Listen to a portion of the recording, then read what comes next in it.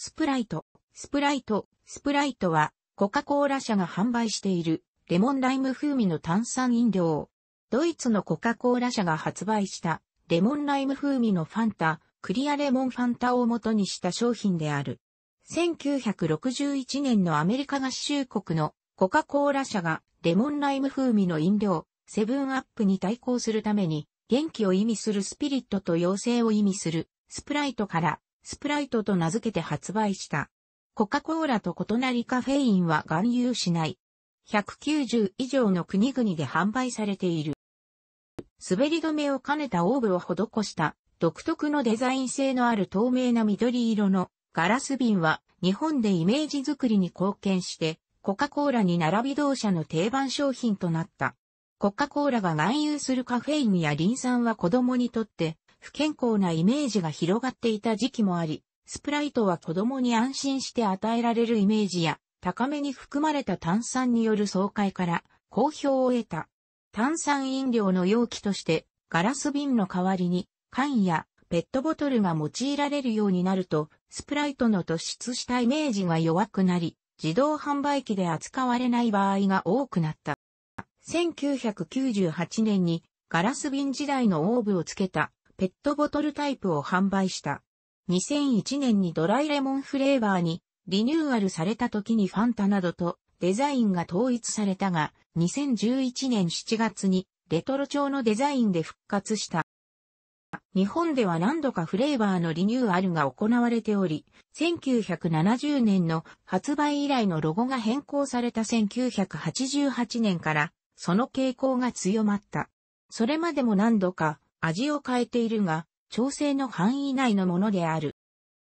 また、カロリーゼロを歌ったダイエットスプライトも2002年4月に発売され、2007年7月にスプライトゼロにリニューアルされた。2003年4月にはセブンイレブン限定で復刻版のスプライトクラシックテイストが2005年6月にはセブンイレブン限定で強炭酸のスプライト X が発売された。2006年9月には、強炭酸のスプライトスパークリングレモンが発売された。2007年3月、ロゴマークを変更し、再びオーブをつけたペットボトルにリニューアルされた。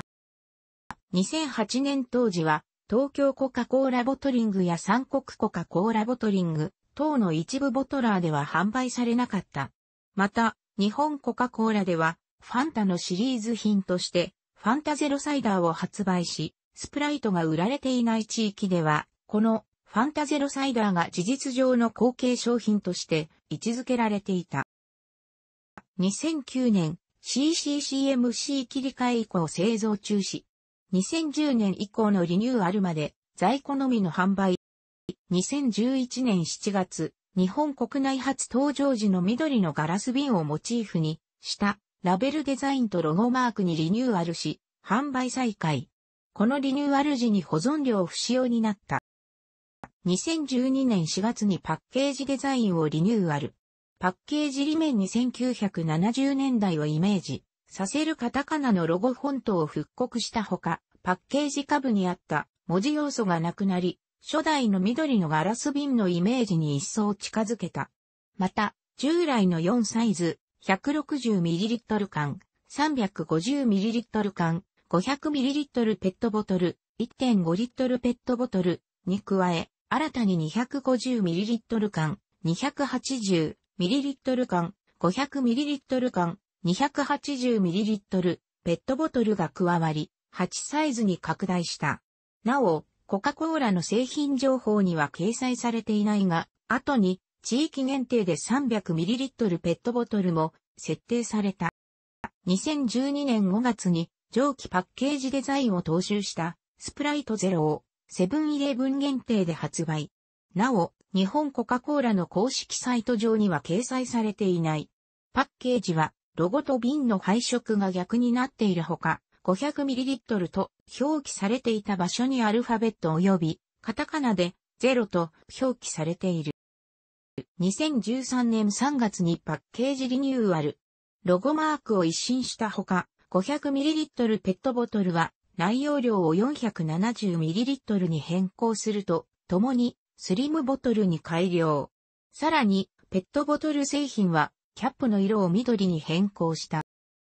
2014年5月にリニューアル。再発売以来初めて中身も改良され、レモンライムの風味を強化。また、ロゴの縁取り部にブルーが加えられた。合わせて、コカ・コーラの製品情報には、未掲載だった 300ml ペットボトルが新たに掲載されるようになった。2015年4月に 470ml ペットボトルと1.5リットルペットボトルをパッケージリニューアル。ロゴ背景色の上部をブルーに変更し、ロゴの左上に黄色の字で強炭酸の刺激が新たに表記された。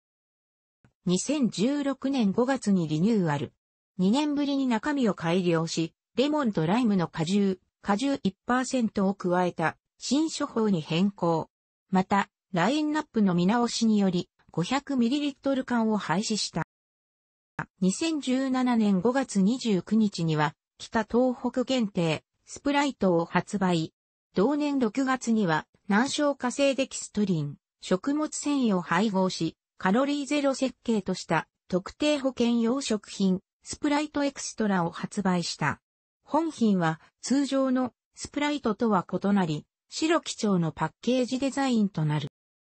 2018年5月21日にスプライトエクストラのパッケージデザインを変更するリニューアルが行われた。楽しくご覧になりましたら、購読と良いです。クリックしてください。